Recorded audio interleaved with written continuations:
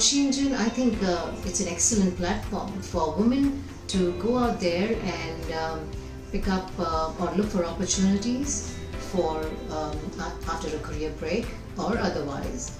It's a one-stop shop, I think, for them to hone their uh, their skills because there's lots of trainings also they provide. It's an excellent place even for recruiters to go ahead and look for profiles of women who are um, powerful leaders by themselves. Shenzyn gives a platform to women to ready themselves and chart their career path of their choice in an organization of their choice and in a role which they know they will excel. So you should make use of that powerful engine to chart your career path. She Engine is one such platform that can be leveraged it has the potential to scale and transform how we approach and drive diversity by bringing all the enablers together in one place. I believe that that is a platform that creates that opportunity with women.